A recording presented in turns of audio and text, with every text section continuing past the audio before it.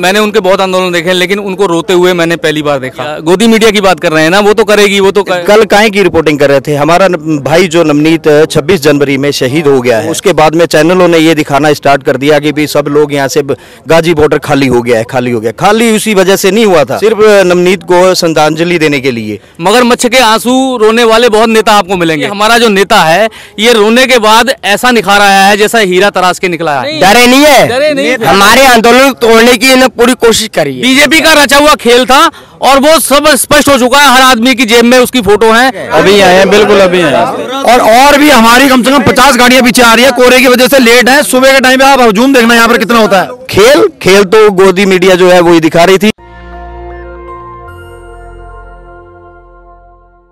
Media backfire कर गया। किसान आंदोलन साठ दिन से चल रहा था बड़ा शोर था सब कुछ ठीक था पत्रकार नहीं आ रहे थे। लाल किला का मामला हुआ, कैमरा वहाँ पहले से मौजूद था। जिस शख्स ने झंडा फहराया उसके वीडियो सबके सामने हैं, उसकी तस्वीरें सबके सामने हैं और सरकार को और मीडिया को मौका मिल गया। मीडिया ने इस आंदोलन को डिमोलिश कर दिया। उसके बाद सरकार ने सोचा कि इसको खाली करवाया जाए। कल दो दिनों से फिर वही सारे पत्रकार यहाँ आए और उन्होंने किसान को नीचा दिखाना शुरू किया, रोते हुए दिखाना शुरू किया। तंबू खड़ गया। रजत शर्मा जी ने कहा कि माफ़ी मांगे। किसान ये सब पब्लिक डोमेन में है। मैं कोई नई बात नहीं कह रहा हूँ। राजदीप सरदेसाई पर एफआईआर हो गया है छः पत्रकारों पर एफआईआर हुआ है कि आपने क्यों दिखाया कि किसान आंदोलन में एक युवक की मौत हो गई गोली लगने से। एफआईआर हुआ है। कराने वाले भी एक तरह के लोग हैं। कल इसी दिल्ली गाजीपुर बॉर्डर पे बीजेपी के विधायक आते हैं, कुछ लोग आते हैं मुट्ठी भर नारेबाजी करते हैं और तमाम चैनल उनको दिखाते हैं कि किसान की वजह से पूरा अव्यवस्था फैल गया है। मज़े ले रहे थे, उसी में से एक आँसू टपक गया। प्रेशर में था, चारों तरफ़ से बैरिकेड कर दिया गया था। जो किसान थे, उनको घेर लिया गया था।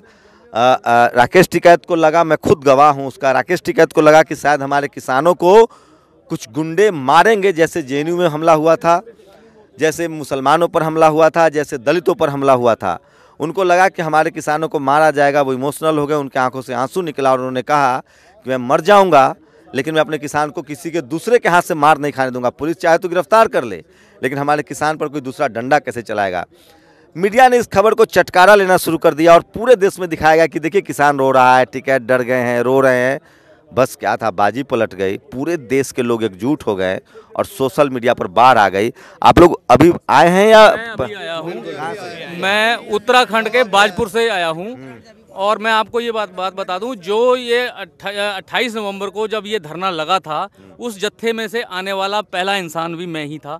ये मैं यहाँ से बॉर्डर क्रॉस करके बुराड़ी जा चुका था। तो रोने वाला वीडियो देख के रोने मैं असल में मैं हार्ट पेशेंट हूँ मेरा इलाज चल रहा है। मैं जब हमारे नेताजी को मैंने ज़िंदगी में पहली बार मैं उनके साथ बहुत रहा हूँ।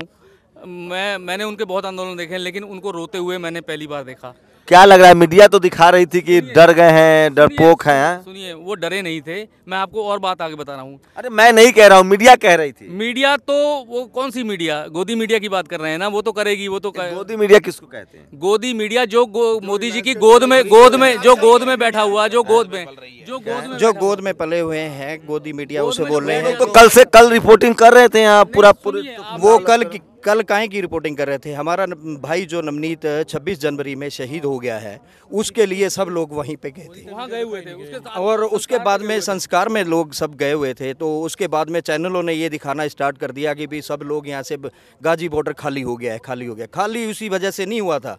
ये खाली हुआ था सिर्फ़ नवनीत को श्रद्धांजलि देने के लिए। हम लोग फ़ायदा कर गया आप लोगों को। कल तो मीडिया का फ़ायदा हो चलो मीडिया का कहीं भी फ़ायदा हो जाए पर लेकिन कम से कम ये तो आपने तो दिखाई दिया ना।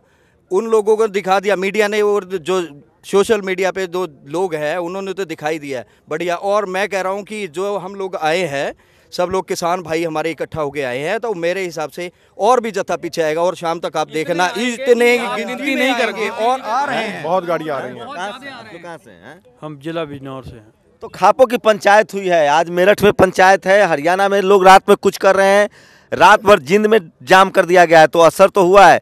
इसलिए मैं कहता हूँ आपके पास एक मीडिया होना चाहिए जो ईमानदार मीडिया हो हाँ? मैं कहने जा रहा हूँ अपने नेता के लिए। देखिए, नेता नेता उसके आँसू जो निकले हैं, आँसू उसी के निकलते हैं जिसका हृदय बिल्कुल कोमल होता है और स्वच्छ होता है। मगर मच्छ के आँसू रोने वाले बहुत नेता आपको मिलेंगे। हमारे जैसा ये ये हमारा जो नेता है, ये रोने के बाद ऐसा निखार आया है जैसा हीरा तराश के निकला है। उसके उसके बिल्कुल बिल्कुल। ये बात भाई साहब ने बिल्कुल सही कही हीरे की तरह कि वो हीरे की तरह निकल चुके हैं और हम लोग तो हम लोग तो टीवी देख रहे थे कह रहा था टीवी वाला कि कल आंदोलन खत्म। नहीं नहीं। ये ये उन लोगों की सोच थी। किसान एकता किसान एकता आपको लग रहा है कि यहाँ पे किसान नहीं है। चूर चूर हो जाएगा। बाबा टिकट अमर कल आठ बजे नौ बजे मैं यही था। सुबह में भी मैं मैं हूँ, देखा है लोग आप यहाँ रहे हैं। हम आए उत्तराखंड से जिला नैनीताल। और हम आज शाम को पाँच बजे न्यूज़ देख रहे थे। तो हमको इतना मतलब गुस्सा आ रहा था कि हमें बर्दाश्त नहीं हो रहा था। तो हमारे ताऊजी का फ़ोन न्यूज़ में क्यों ऐसा क्या दिख रहा था कि आपको बर्दाश्त नहीं हो रहा था? वो लोग तो दिखा रहे थे कि रो रहे हैं आपके नेता डर गए। नहीं डरे नहीं है। नहीं हमारे आंदोलन को तोड़ने की इन्हें पूरी कोशिश करी है। किसने? बीजेपी सरकार ने। गोदी मीडिया ने। गोदी मीडिया गोदी मीडिया ने जो यहाँ पर मैं 26 जनवरी की जो अच्छा, लाल किले पर हुआ उसके लिए क्या कहेंगे आप लोग? वो बहुत ही वो दुर्भाग्यपूर्ण है हम उस चीज़ को समझ रहे हैं। लेकिन उसमें उन पे कार्रवाई होनी चाहिए। कह रहे कि वो कॉन्स्पिरेसी है जानबूझ के करवाया गया किसने करवाया गया मैं बता रहा हूँ ना वो बीजेपी के बीजेपी का खेल था। बीजेपी का रचा हुआ खेल था। और वो सब स्पष्ट हो चुका है, हर आदमी की जेब में उसकी फ़ोटो है और सबको मालूम है कि वो बीजेपी का खेल था। और बीजेपी ने एक बात बताइए आप, कि बीजेपी ने वो वहाँ से सुरक्षा क्यों हटाई लाल किले की? लाल किले की सुरक्षा मैं कह रहा हूँ कि सोशल मीडिया पे सब आप लोगों ने या हम किसानों ने मैं कह रहा हूँ वर्ल्ड में ही ये चीज़ फैल चुकी है कि वहाँ देखा है कि भी एक आदमी आता है तो सबको भड़का के चला जाता है और उस- वहाँ पे फोर्स इतनी इकट्ठी अच्छा, थी उसको जाने भी देते हैं बाइक से चला जाता है। मैं वही तो बोल रहा हूँ कि बाइक पे वो लोग चले जाते हैं। हाँ जी देखो। बाइक से चलते हुए बिल्कुल देखा सर। क्या लग रहा है? वो गुंडे हैं जी देखो बिकटाने आए थे वो। सोची समझी सा- साजिश है सारी। तो आप लोग सब रात में चल के आ गए? अभी आए हैं बिल्कुल अभी आए हैं? हाँ? रात में हम लोग आए 300 किलोमीटर हम मैं आया हूँ हल्द्वानी से। इतनी गाड़ियाँ आ रही हैं मैं और और भी हमारी कम से कम 50 गाड़ियाँ पीछे आ रही हैं कोहरे की वजह से लेट है। सुबह के टाइम पे आप हजूम देखना यहाँ पर कितना होता है। लोगों के चप्पल है जो खेतों से डायरेक्ट आए हैं। बिल्कुल चप्पल है बिल्कुल चप्पल है। मैं जिस नाइट सूट में सोया था ये देखिए। मैं जिस नाइट खेतों से आए हैं? कहाँ से आए हो? उत्तराखंड बाजपुर से। अच्छा सॉरी सॉरी सॉरी हाँ? कोई बात नहीं कोई बात हाँ तो रात में ही चल दिया आप लोगों ने हवाई चप्पल में? जी हाँ जी बिल्कुल। ज़रूरत थी? ज़रूरत थी अपना आंदोलन कायम रखना हमने। आंदोलन जारी रखना है उसके लिए सहयोग चाहिए सहयोग के लिए आदमी चाहिए। आदमी जितने ज़्यादा होंगे उतना ज़्यादा आंदोलन चलेगा। हाँ जी। तो क्या टीवी वाले तो कह रहे थे कि आप लोग गए? खत्म मामला खत्म? हो ही नहीं सकता सर। हो ही नहीं सकता है। हमने वहाँ से इतने बंदों को कह दिया है कि सबने यहाँ पे पहुँचना है आंदोलन जैसा चल रहा था बिल्कुल वैसा ही हम शांतिपूर्ण आंदोलन दोबारा से कितना लोग जुड़ जाएँगे सुबह तक? सर मैं एक बात कहना चाहता हूँ मैं भी 26 को भी आया था परेड में और आज मैं जब न्यूज़ सुन रहा था 10 बजे ताऊजी का फ़ोन आया था कि सुबह पाँच बजे चलना है और मैं रात के 10 बजे घर से चोरी निकला हूँ और मेरे घर वालों को पता नहीं कि कहाँ जा रहा है और मैं नया कमरा बनाया उसमें सो रहा था पुराने कमरे में गया तो मैंने अलमारी खोली कपड़े निकाले गए मम्मी बोली कहाँ जा रहे हो? मैंने बाजपुर में मैंने झूठ बोला कि बाजपुर में मीटिंग है और सुबह हमने दिल्ली निकलना है। और अभी सुबह पाँच बजे फ़ोन आया घर से मेरे कि कहाँ मैंने मैं दिल्ली पहुँच चुका हूँ किसान आंदोलन में। मैं एक, एक बात मैं और कहना चाहता हूँ कि आपके माध्यम से कि जो टिकैत जी को इतना लोगों ने मीडिया ने मीडिया ने जो बिल्कुल इतना उन्हें गलत तरीके से दिखाया गया है और उन्हें लगा कि हाँ भाई मेरा किसी ने सहयोग नहीं करा या और लोगों ने क्या। हम लोग बता रहे हैं नवनीत के बारे में गए थे और ये बता रहे हैं कि दोपहर से शाम तक ज़्यादा से ज़्यादा संख्या में यहाँ लोग इकट्ठा होंगे। आप देखना और किसान मैं कह रहा हूँ किसान लोग इतने आएँगे ना कि जैसे ये पहले भरा था वैसे ही भरा रहेगा। दो दिन और दे देना आप।